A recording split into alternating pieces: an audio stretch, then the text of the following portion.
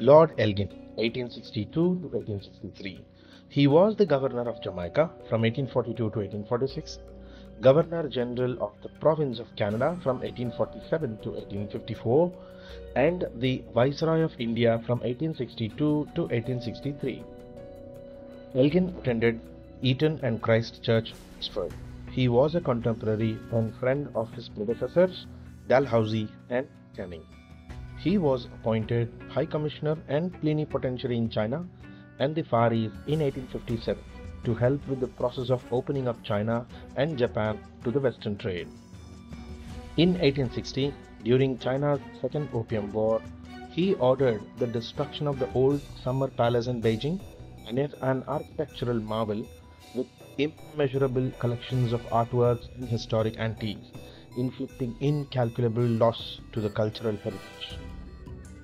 As a result, he forced the Qing dynasty to sign the Peking Convention, which added the Kowloon Peninsula to the British Crown colony of Hong Kong.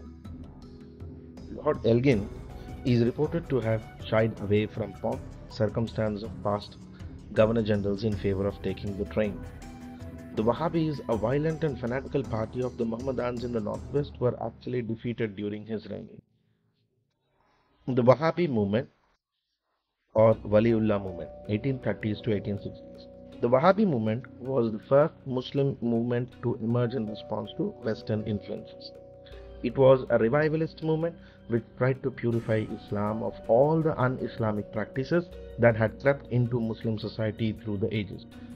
The movement was led by Abdul Wahab of Arabia as well as Delhi's Saint Shah Waliullah Dehlavi between 1702 to 1760. In India, their teachings were popularized by Sayyid Ahmad Barelvi, also known as Sayyid Ahmad of Rai Bareli, and Shah Abdul Aziz. Barelvi condemned all innovations in Islam and advocated a return to original religion of Islam and Islamic Society of Arabia, as it was during the Prophet's times. Barelvi and Aziz gave the movement a political color and aimed at creating a Muslim homeland, Dar ul Islam.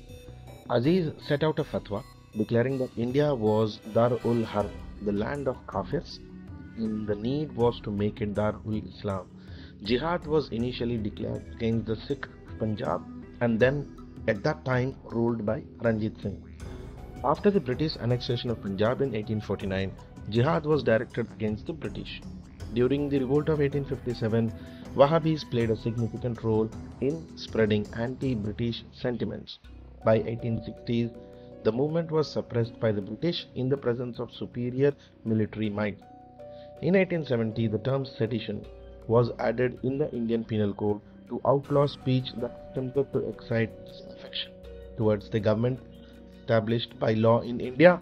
Thus, the movement marked the beginning of sedition law. The Ambela campaign in northwest frontier to suppress tribal insurgency was the main event of his time. Sir William Denison, the governor of Madras, succeeded him as interim governor general under the Act of 1861.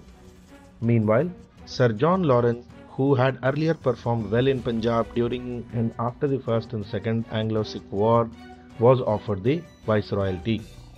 Inauguration of the High Court Judicature in Bengal, conferment of the first MA degree from Calcutta University also happened during this period.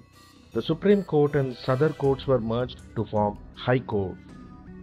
Viceroy Elgin's career in India was cut short when he died unexpectedly after only after only 20 months in office, mostly carrying on Canning's work.